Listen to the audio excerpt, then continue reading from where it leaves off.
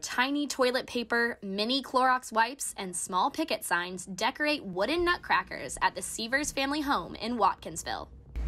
They're arguing. A junior in high school, Madeleine Severs has always been artistic.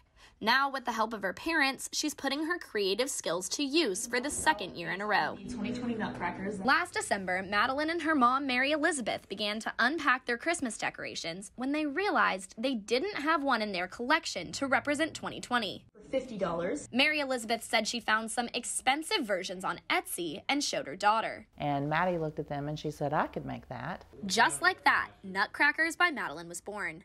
She worked with her parents to craft two different styles of nutcrackers saddled with masks and tissues.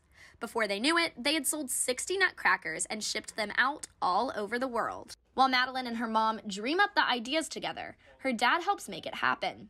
Steve works on perfecting the little details with direction from his wife and daughter. These things are hard. Like, for example, this plastic card right here. For 2021, they have two different nutcrackers to represent people who are for and against the vaccine.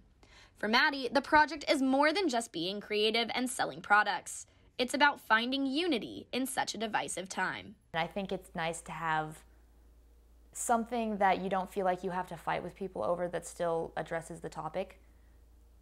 Because I think it's really important, but when you're dealing with nutcrackers, it's not necessarily important. Mary Elizabeth is a healthcare worker, so she says the issue hits close to home. I work as a hospice nurse, so I've seen the heavier side of all of this, um, but in some small way. And we don't mean to make light of it, but we do want to do something to lighten the subject if that's possible. For Steve, he says they serve as an important marker of all that these past two years have held. Just the memory of these two years and how COVID has marked them. For Grady Newsource, I'm Sam Perez.